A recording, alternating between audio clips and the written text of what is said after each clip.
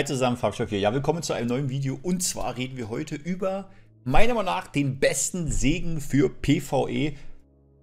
Ja, kommen wir dann mal zu, warum. Also einmal, weil der äh, Segen allgemein gut ist und weil er schon ab Level 1 einen extremen Impact auf eure Accounts hat. Was dieser Segen macht, wie er funktioniert, das zeige ich euch heute. Kommen wir noch kurz mal zu, wie ihr euch diesen Segen besorgen könnt. Wer das Video noch nicht gesehen hat, schaut euch das bitte nochmal an. Das Seelensystem im Detail mit den ganzen Ressourcen Ihr könnt euch hier, gibt es jeden Tag oder im Wechsel alle 12 Stunden, hier äh, Stufe 1 Segen für 20 ähm, von diesen Essenzen. Also ihr braucht dann im Prinzip die potenten, die großen kommen dann erst später zum Tragen, wenn wir dann weiter sind, aber das könnt ihr mal außen vor lassen. Wir reden jetzt von den Ein-Sterne-Versionen. Wenn ihr diese Ein-Sterne-Version von Champs bekommt, die ihr am Clan-Boss, bei Doom Tower-Bossen, bei Hydra spielen wollt, oder spielt aktuell und sie haben sogar noch AOE-Skills, dann sind diese Degen perfekt für euch. Es lohnt sich nicht auf Gems, die nur von drei Skills einen auf den Gegner benutzen, weil dann würden sie zwei einfach irgendwo in die Walachei landen, weil irgendwelche Champions gebufft werden. Es geht darum, Champions, die angreifen. So, und jetzt könnt ihr euch fragen, ja, aber was bringt das groß, wenn so ein Segen da drauf ist und von welchem reden wir überhaupt? Wir reden von dem sogenannten Brimstone Buff Segen oder Brimstone, so heißt ja hier, ja. Und zwar äh, geht es um den Zerschmettern-Debuff. Wie funktioniert das? Ihr greift den Gegner an und applied dann einen Debuff, der nicht entfernt werden kann, der, und jetzt kommt es ja, müsst ihr ja mal wissen, der Metroid richtet Schaden im Wert von 25% der maximalen LP des betroffenen Champions an und schadet zudem alle anderen Gegner um 5%. 25%, das ist extrem viel und natürlich heißt das, Klartext, ein Burst. So, natürlich sind dann auch viele Bosse gecapped. Das heißt, sie laufen dann einfach am Maximum Cap. Aber trotzdem, es ist einfach ein enormer Schaden. So, und warum ist dieser Brimstone-Segen so gut ab Stufe 1? 20% Chance auf Zerschmettern. Okay, ändert aber nicht. Der Zerschmettern-Debuff macht immer den gleichen Schaden auf Stufe 1, 2, 3, 4, 5 oder 6. Die Chance, ihn zu applyen, die steigt an. Jetzt denkt man, 20% ist nicht viel, 20% ist sehr viel. Es gibt Segen, die zum Beispiel, nehmen wir mal jetzt hier den vernichtenden Riss. Der erste Treffer ignoriert nun Zahl der Defense. Nur der letzte Treffer macht erst den Skill oder diesen Segen erstmal so richtig äh, Porno nächstes Mal, ja.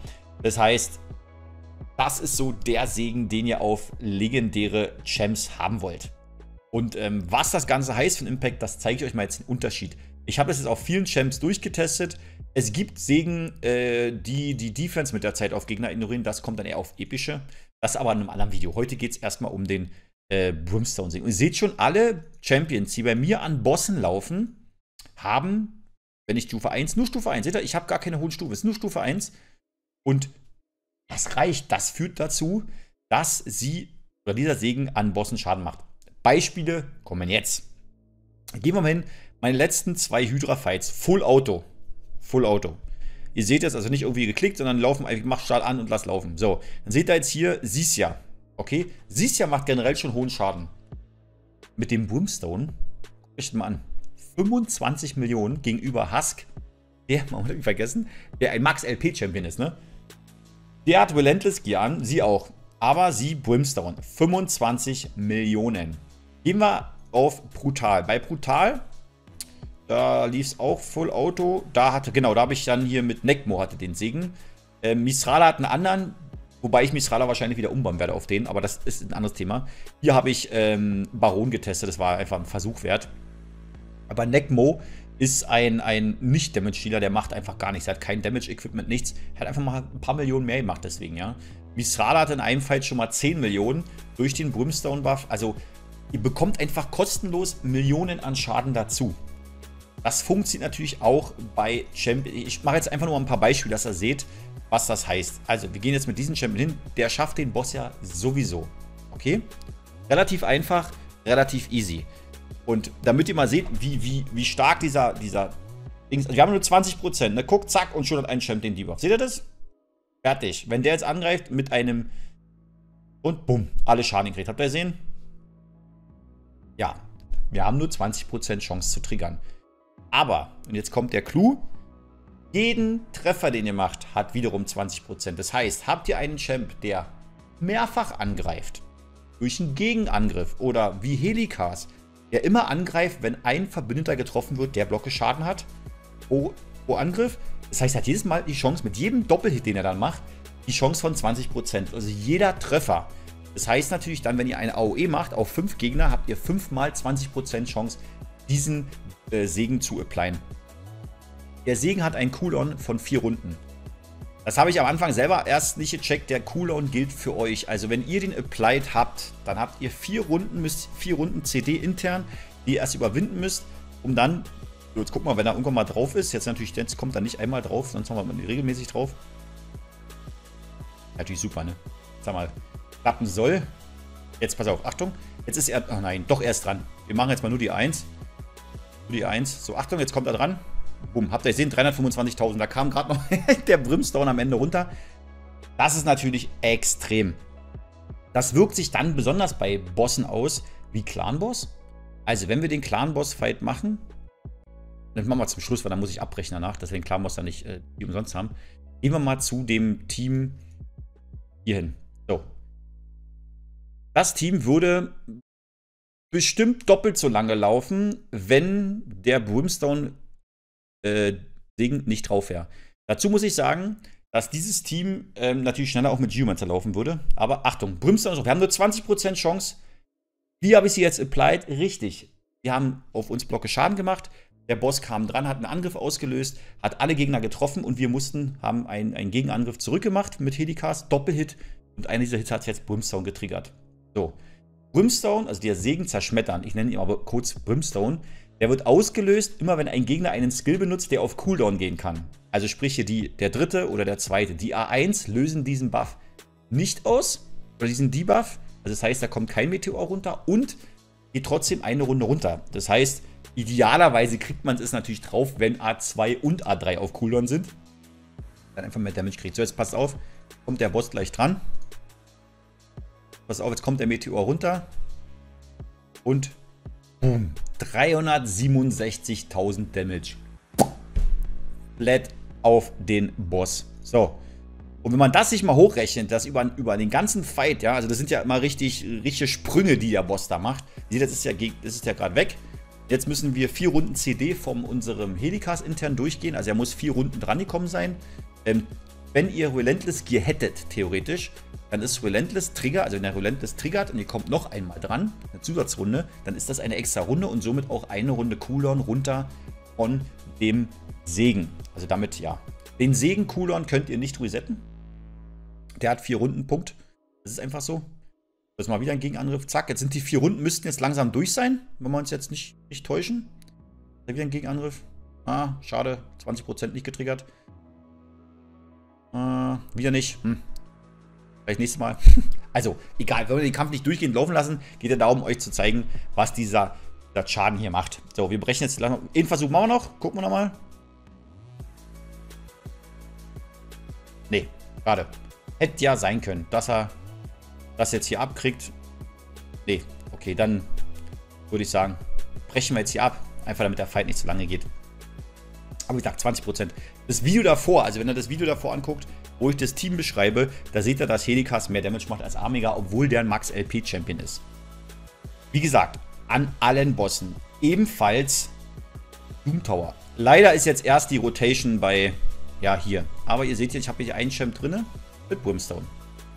Oder? Ja. Kommen wir zum Boss. Und was passiert, wenn der Boss drankommt? Richtig. Und der Boss, binne, hat sehr viel LP. Sehr, sehr viel LP. Das heißt, sehr viel LP heißt sehr viel Brimstone Damage Buff. Äh, Brimstone Damage, also vom Meteor, den Zerschmettern. Gehen wir kurz zum Boss. So. Und ähm, siehst du natürlich super, hat auf der A1 einen Triple-Hit. Und ein Triple-Hit heißt drei Chancen, den Buff zu applyen. Also Max LP, hier seht ihr, 700.000 Schaden. 700.000 liegt einfach daran, obwohl wir nur 10% haben, der Boss hat halt 4 LP. So, jetzt ist ja der, der Dings drauf. Achtung. Kommt die Spinne dran? Boom. 522.000 Damage. 522.000 Damage nebenher.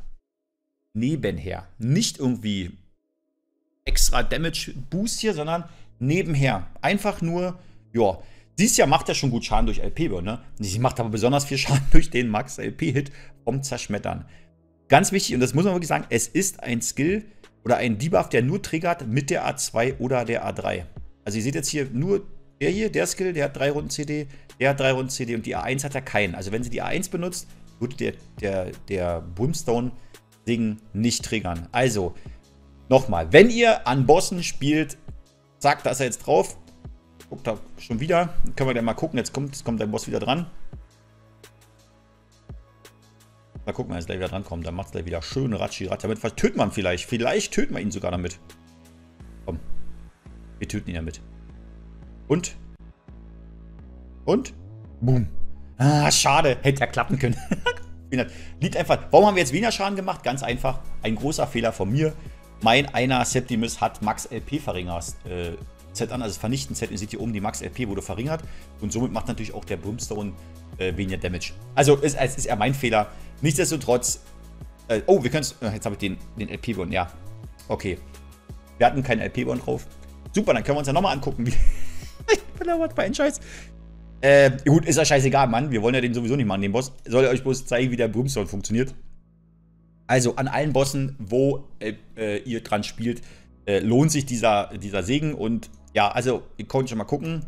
Ja, hier ist noch nicht drauf. Die habe ich noch nicht am, am Boss gespielt. Aber am Boss, steht da, gerade in einem Fraktionskriege, am Boss, am Boss, Brimstone, Brimstone. Bei mir ist überall Sie spielen Arena, wobei das mir noch nicht gefällt. Ähm, da werde ich auch nochmal was ändern. Aber hier Brimstone, Brimstone, Brimstone, Brimstone. Alle Champs, die ich irgendwie irgendwo spiele, die an Bossen spielen, versuche ich diesen Buff zu machen. Es sei denn, ich habe schon in der Runde, also in dem Team-Setup, einen, wo Brimstone drin ist. Wer jetzt sagt, ja, aber die Segen, das schaffe ich nicht, der einfach das letzte Video anschauen. Ich habe ein Video gemacht über das super einfache Team. Geringere Stats, sollte da jeder mit klarkommen. Also, in diesem Sinne, Schreibt mir in die Kommentare, ob ihr das genauso seht oder sagt ihr, hey, nee, für mich ist ein anderer Segen besser. Ich sage extra, es gibt noch andere Segen. Wir reden jetzt von legendären Segen. Wir haben auch noch einen epischen Segen. Kurz zum Schluss. Und zwar dieser zum Beispiel. Grausamkeit senkt den Defense-Wert des Ziels um eine Runde bis zu 10% für Champions, bis zu 5% für Endboss. Hört sich wenig an. 5%, 5 Defense senken. Läppert sich. Wenn das auf, äh, auf euren Damage-Sheetern bei der Hydra hat, äh, ja, ja. Gut, lassen wir es so. In diesem Sinne wünsche ich was. Bis dann, einfach. Ciao, ciao.